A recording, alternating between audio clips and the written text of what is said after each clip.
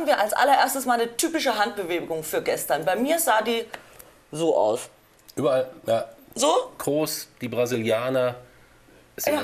Jeder hat gesagt, eher so aus. Ja? Also ich habe mich wirklich total gefreut. Das war ja, bis, zum, bis zum 3-0. Und ab dem 3-0 hat, hat sich ja Genau. wirklich jeder gefragt, ich glaube auch jeder Fußballfan überall auf der Welt, was passiert hier gerade? Das ist ein, ein, ein Fußballspiel, das kann man glaube ich so sagen, wie es die Fußballwelt halt noch nie erlebt hat. Das ist für uns alle eine ganz neue Also Dimension. ich saß neben Absolut. einem, der hat beim 5-0 gesagt, siehst du, dafür war das Schwedenspiel gut, daraus haben sie gelernt.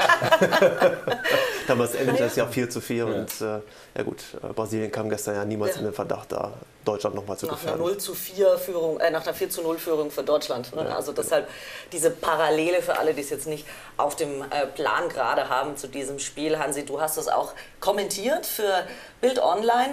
Erzähl mal, wie das für dich war. Also da muss ja auch gedacht haben, bist im komplett falschen Film.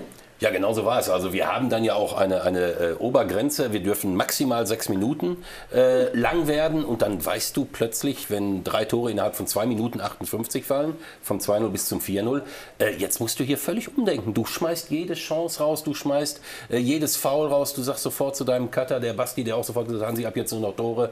Ähm, jetzt ist vorbei und ab jetzt werden hier nur noch Tore gezeigt.